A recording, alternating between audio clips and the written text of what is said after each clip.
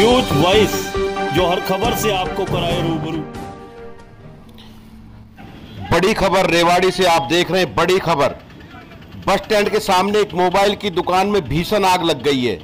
देखिए किस तरह से बड़ी खबर हम आपको दिखा रहे हैं रेवाड़ी से। ये देखिए, ये नज़ारा, ये आग लगी हुई है।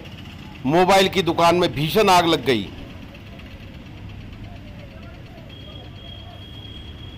दमकल विभाग की गाड़ी भी मौके पर पहुंचकर आग पर काबू पाया और लाखों रुपए के मोबाइल फ़ोन का सामान जलकर राख हो गया है। मालटाउन थाना पुलिस भी मौके पर पहुँची है। बड़ी खबर आप देख रहे हैं, रेवाड़ी के बस स्टैंड के सामने मोबाइल की दुकान में भीषण आग लगी है।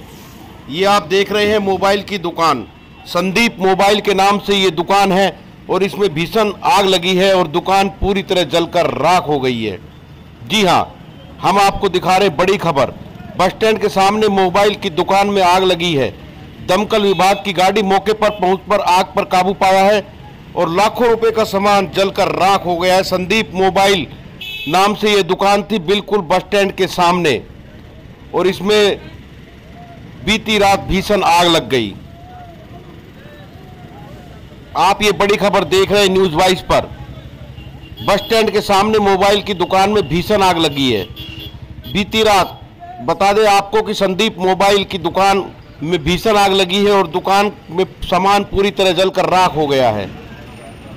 और बताया जा रहा है कि लाखों रुपए के मोबाइल फ़ोन जल गए हैं। जी हाँ मालटाउन थाना पुलिस मौके पर पहुँची है और जाँच में जुट गई है। बड़ी खबर रेवाड़ी से बस स्टैंड के सामने मोबाइल की दुकान में आग लग गई है।